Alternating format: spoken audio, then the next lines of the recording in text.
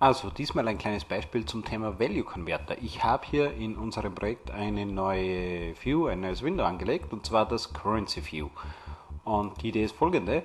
Ich tippe in dieser Textbox einen Wert rein und im Label steht auch dieser Wert, aber bitte schön formatiert. Und zwar mit Euro-Symbol. Und äh, beziehungsweise vielleicht wollen wir das sogar im Textfeld schön dargestellt haben. Und dann wollen wir noch uns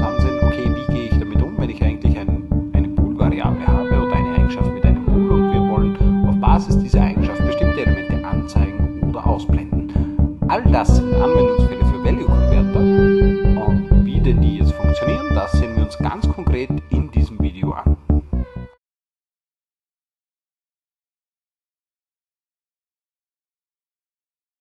Okay, ich habe mal ein paar Kleinigkeiten vorbereitet. Und zwar, es gibt hier ein View-Model und hierzu gibt es eine Eigenschaft Dezimal. Und ähm, Dezimal Value, Dezimal ist für ähm, Währungen immer sehr gut geeignet ähm, ein Datentyp, der zwar langsam ist von der Berechnung her, aber super genau. Also ohne Rundungsfehler oder so, nicht so wie Float oder Double. Also, damit das auch funktioniert, Decimal Value, ihr kennt das Thema mit Notify Property Changed. Also, get Veilchen Value, set geschwungene Klammer auf if Value ungleich Value. Ah, jetzt wird es kompliziert. ähm, dann sagen wir value ist gleich value und this Punkt raise modify changed. Okay, also raise property changed. Gut, value ist offensichtlich einer der schlechtesten Namen, den man sich nur vorstellen kann. Steuerung RR für Rename, weil und überall, wo es weiß, nennt er es richtig. Wo es nicht weiß, kann er es nicht umbenennen. So, gleich, gleich. Gut, wir haben den Value und diesen Value wollen wir jetzt binden. Also das Currency View Model braucht wie immer im Window Data Context unser Currency View Model Instanz. Dann wie immer einmal gut kompilieren und kurz warten,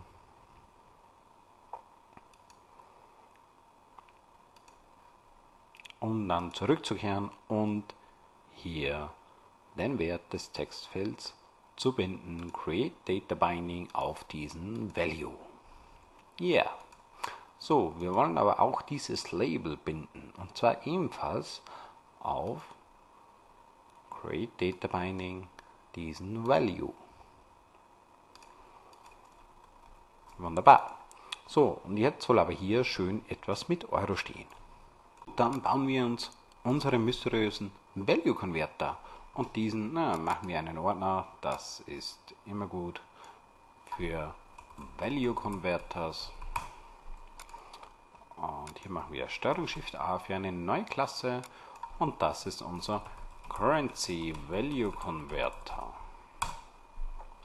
So, dieser Currency Value Converter ist nichts anderes als eine ganz normale Klasse, die ein Interface implementiert. Und zwar ein I Value Converter Interface.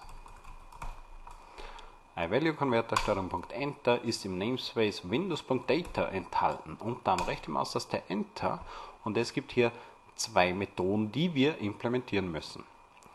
Die eine Methode ist Convert und die zweite ist Convert Back. Also Convert geht sozusagen vom View Model zur View und die Convert Back ist von der View zum View Model.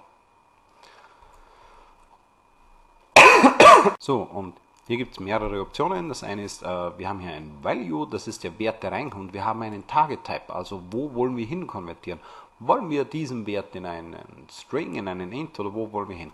Entsprechend den Parameter, das es vielleicht noch gibt und Culture Info. Also Parameter könnte zum Beispiel sein, handelt es sich um ein Euro-Symbol oder um ein Dollar-Symbol und die Culture Info könnte sein, damit wir im richtigen Format das eben entsprechend darstellen. Wie zum Beispiel im Englischen gibt es ja äh, das Komma nicht als zwischen Ganzen und, und Bruchteilen, äh, sondern äh, als Tausender Trennzeichen zum Beispiel. Also hier kann man sich dann richtig gut austoben, man hat alle Informationen hier herinnen, äh, um das richtig, richtig gut zu implementieren. Wir machen es wieder mal super einfach, wir ignorieren den Großteil der Parameter.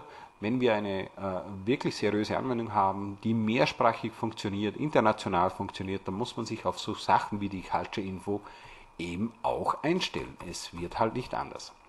Okay, wir bekommen hier ein Object Value. Und jetzt können wir zum Beispiel sagen, okay, if, also wir brauchen mal einen Int, na, einen Dezimal. Also vom View Model bekommen wir ganz bestimmt einen Dezimal. Value ist gleich Dezimal Value. Also das haben wir hier bekommen. Und wir liefern ein Object, in unserem Fall eigentlich einen String, aber das weiß ja der Value Converter nicht. Und wir machen return val.toString und zwar machen wir im Format 0.00 Euro. Und ja, dann schauen wir mal, wie denn das jetzt läuft. Ich drücke mal auf Play. Ja, es läuft noch gar nicht. Wir haben den Value Converter natürlich nicht ähm, eingebunden, zugewiesen, sonst irgendwas. Ja, das bringt natürlich nichts. Okay, Currency View. Wir müssen mal, äh, was müssen wir tun? Wir haben einen Data Kontext, das sind die Daten, die gebunden werden. Und jetzt brauchen wir noch etwas anderes. Äh, wir haben diesen Value Converter in einem eigenen Namespace hier, und zwar in MVVM Value Converters. Damit wir das in der View jetzt verwenden können, müssen wir das natürlich hier mit einem Namespace irgendwie versehen. Das heißt, wir sagen, okay, XML Namespace, wir wollen VC für Value Converter ist gleich, das ist jetzt ein CLR Namespace Doppelpunkt und zwar dieser Value Converters Namespace. Also mit VC können wir jetzt auf die Value Converter, wenn wir so wollen, zugreifen. Kurz mal kompiliert mittendrin, das schadet nie und damit die Value Converter richtig verwendet werden können, gibt es hier nicht nur ein Window.data ähm, Context, sondern auch ein Window.resources. Da sind Ressourcen drinnen, die diese Seite jetzt verwenden kann, diese View. Und zwar haben wir eine Resource im VC drin, und zwar unseren Currency Value Converter. Dieser bekommt jetzt einen Key, mit dem wir dann darauf zugreifen können, und den nennen wir Currency. Okay. So, und jetzt haben wir diesen Wert gebunden und jetzt machen wir auch ein paar lustige Sachen mit diesem Converter. Also, wir haben hier das Label, wir haben hier die Textbox. Und was wir jetzt machen, wir binden das Label, gibt es hier das Content Binding mit Value und ich mache mal das Binding hier einfach neu. Create Data Binding, ich gehe wieder auf Value und ich sage hier bei Converter hätte ich hätte ich gerne diesen Currency Converter. Ich kann hier Parameter angeben, das ist wie gesagt Euro, Dollar oder solche Sachen, die kann ich dann entsprechend im, ähm, im Value Converter darauf reagieren. Und das, was hier jetzt macht, ist, dass wir hier jetzt äh, im Binding nicht nur auf Value binden, sondern auch angegeben ist mit Beistrich Converter und zwar auf eine statische Ressource, die auf Currency zeigt. Currency ist der Key, den wir hier angegeben haben und das System eine Instanz unseres Currency Value Converters. So, natürlich gibt es auch die Wayback-Maschine sozusagen. Also wenn wir nur Werte haben, die wir im View-Model setzen und anzeigen wollen, dann würde uns das schon reichen. Aber wir haben in dem Fall ja auch ein Textfeld, das den Wert im View-Model setzt.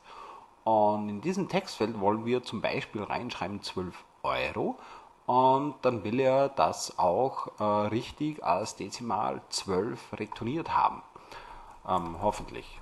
Also in diesem Fall bekommen wir einen äh, String val ist gleich String Value konvertiert zu einem String und dann sagen wir, okay, if, wir machen das sehr rudimentär wieder mal, okay? Ähm, value ist gleich value.replace ähm, Euro nach nichts und wir trimmen auch noch keine gute Implementierung, also keine, wirklich nicht. Okay? Dezimal Result ist gleich Dezimal.parse Value. Return Result. Also das wäre unser Convert Back von der View zurück Richtung View Model. Das Convert wäre vom View Model in die View. Gut, wir können da mal einen Breakpoint reingeben, hier und hier. Wir drücken mal auf Play und wir werden gleich sehen, dass wir hier sofort in dieses Convert rein tapsen. Und warum machen wir das? Naja, weil wir hier ja das entsprechend mit unserem Value Converter anzeigen und anzeigen wollen. Das ist natürlich eine schöne Sache. So, ich drücke jetzt mal auf und sage hier auch, okay, ich möchte diesen Value Converter nicht nur hier verwenden, sondern auch hier verwenden. Dann sage ich Create Data Mining, Value Converter, hätte ich gerne einen Currency, okay. Und wir drücken Play. Und jetzt werden wir auch sehen, dass dieser doppelt aufgerufen wird. Einmal für das Label und einmal für die Textbox. So, jetzt steht da 0,0 Euro. Wir schreiben mal 12 rein. Und es geschieht nichts. Warum nicht? Ja, es geschieht nichts, weil wir ja den Fokus aus dem Textfeld nicht rausbekommen haben. Und jetzt habe ich das Fenster geschlossen und ich sehe, hier kommt das 12 rein, ich replace das Euro, ich mache ein Pass auf das Dezimal äh, und dann wird auch die UI wieder aktualisiert vom Label. Hier kommen diese 12 rein, nein, 0. Warum 0? Hm, jetzt wird's Range. So, nein, da sind wir verkehrt. Currency. Also, Uh, wir returnieren den Value, wenn Value gleich Value, dann, also gleich ist natürlich total für den Hugo, ungleich. Ja, wenn die ungleich sind, ist eh klar. Gut, also nochmal ausprobiert. Ähm, binden, binden.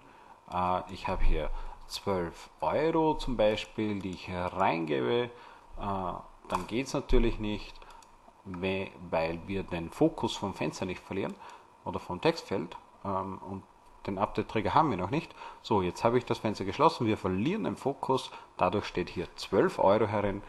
Wir replacen das. Es steht nochmal 12 herin. Und wir returnen das Result. Wir machen Raise Property Change. Wir binden das neu und alles ist wunderbar. So. Prima. So, das war so ein Value Converter für ein Currency. Wir könnten jetzt natürlich hier noch irgendwie äh, folgendes machen. Ich mache noch eine. Ups. Hey, wo ist meine View? View. Ich mache hier noch ein zusätzlicher Te zusätzliches Textfeld rein. Textbox. Na? Okay, dann halt so. Copy-Paste. Wir machen hier 99, na, wir machen hier 129. Wir binden das mal nicht. So. Also nur zum Beweisen, dass das so funktioniert. Ich gebe noch die Breakpoints raus. Da müssen wir auch nicht überall drin sein. So, ich tippe hier 12,09 Euro hin. Verlasse das Textfeld. Gebe den Breakpoint noch weg. Und wir haben hier 12,09 Euro stehen. Ich tippe einfach nur 13 rein und ich habe hier 13,0 Euro stehen, aber auch im Textfeld wird das Format automatisch richtig gestellt. Und nochmal, wir haben im View-Model einfach einen normalen Datentyp. Wir haben dort einen Dezimal. Wir könnten einen Int haben, einen Float, was auch immer. Diese Value Converter sind dazu da, um eine schöne UI zu bekommen, um schöne Werte in der UI zu bekommen und hinten mit ordentlichen Datentypen arbeiten zu können. Also die ganzen String-Format, Datumsformate etc. mit Value Converter machen, das ist eine gute Idee. So, jetzt könnten wir uns noch kurz ansehen ähm, beim Value Converter diesen, diesen Parameter. Ja. Ich gebe mal das Euro hier weg und sage einfach toString plus String Parameter. Ja, das ist auch nicht sehr schön, aber damit wir es sehen, ja. So, und natürlich können wir auch hier sagen,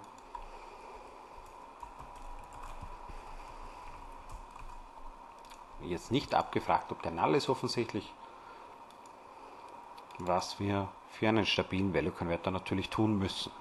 So, nochmal das Mining angesehen, Create Data Mining, No Value Converter, No, ich hätte gern auf das hier, ich hätte gerne den Currency und ich hätte hier gern diesmal Dollar. So, und hier, was habe ich hier gemacht? Ja, dann gibt es hier einfach Parameter Dollar.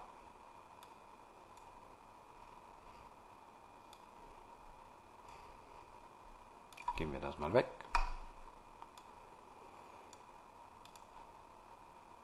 Und hier ebenfalls versus Currency Beistrich Konverterparameter.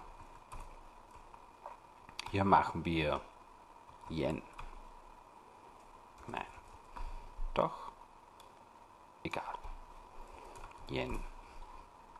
So, Play.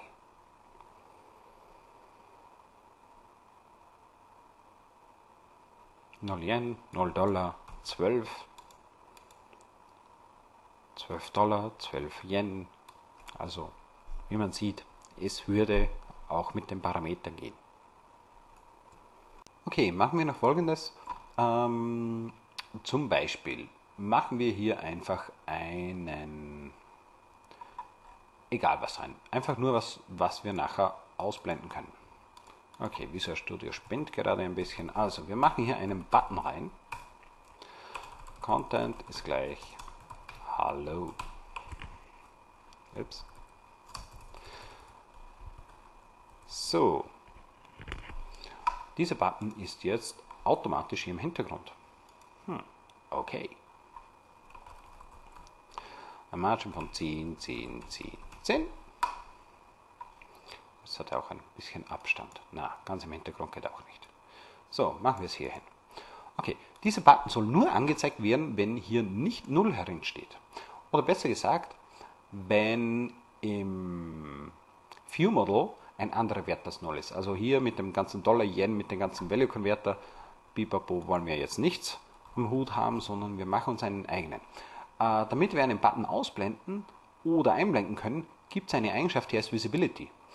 Das Blöde ist nur, ähm, dieser Visibility Converter oder die, die, diese Visibility Sache, die ist so pur UI-spezifisch und wir wollen ja in WPF oder wir wollen ja in unserer Firmenklasse keine UI-spezifischen Sachen haben. Also machen wir uns einen Value Converter dazu. Pull to Visibility Converter. Das ist auch so ein Konverter, ich glaube, den gibt es in jedem WPF-Projekt. I Value Converter.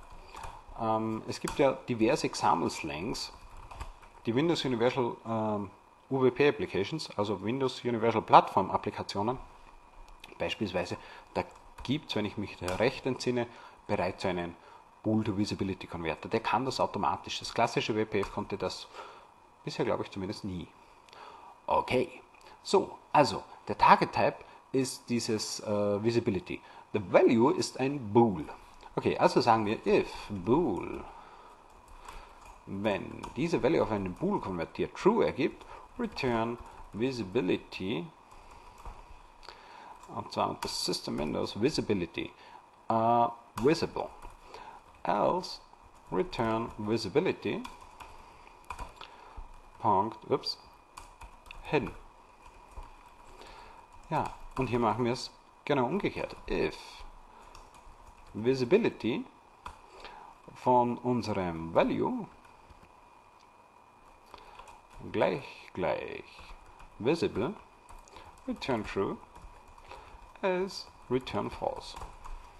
So, jetzt haben wir einen Bool to Visibility Converter. Natürlich lässt sich das alles vereinfachen äh, mit jedem Syntax etc. Aber egal jetzt. So, was machen wir jetzt? Wir brauchen wieder eine neue Resource, VC, für, und hier brauchen wir einen Bool Visibility. X-Key ist gleich Bool to Visibility. Okay, Bool to Vis muss reichen, ist sonst zu viel zum Tippen. Ah, macht ihr der Editor, egal. So, ups, was haben wir jetzt? Bool to Visibility, bla bla bla, das not exist, also neu kompilieren. WPF bei Fehlermeldungen neu kompilieren. So, und hier haben wir eine Appearance. Visibility is visible, hidden, collapsed. Wir binden diese Eigenschaft visible. Create Data Binding. Wir gehen auf Value, was? Nein, das wollen wir natürlich nicht. Wir gehen hier hin und sagen, in unserem Currency View Model gibt es eine Eigenschaft. ähm, bool public bool show button oder has non-zero value. Und diese Eigenschaft ist zwar read-only, ja, aber sie ist so, dass wir sagen, okay, if value ungleich 0,0.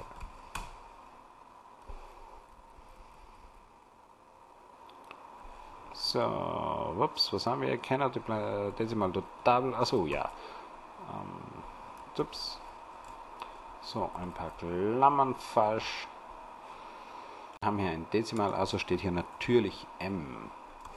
So, wenn das ungleich 0 ist, dann ähm, ist es true, ansonsten ist es false. Also wenn wir, solange wir 0 haben, soll er nichts anzeigen. Okay, dann haben wir natürlich, wenn sich der Wert ändert, dann hat sich möglicherweise auch dieses äh, has, ähm, diese Eigenschaft geändert. Has non-zero value. Also wenn sich der Wert hier ändert, dann ändert sich natürlich auch der Wert hier. Also brauchen wir hier das Race Property Changed, damit die Binding Engine weiß, dass es diesen Ausdruck neu auswerten muss. So, und jetzt haben wir die Eigenschaft, wir können die Visibility des Buttons auf diese Eigenschaft binden, Create Data Binding, wobei wir hier natürlich, was, wo ist diese Eigenschaft? Wo ist diese Eigenschaft?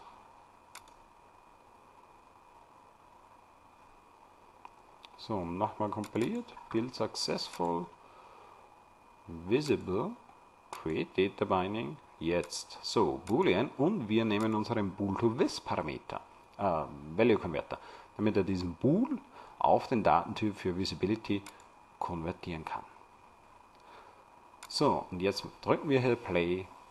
Wir haben zwei Value Converter geschrieben. Einmal, dass wir hier schöne Dollarzeichen etc. haben und einmal, und hier Yen, und einmal, damit er diesen Button anzeigt, je nachdem, ob hier etwas Schönes steht oder ob 0 da steht.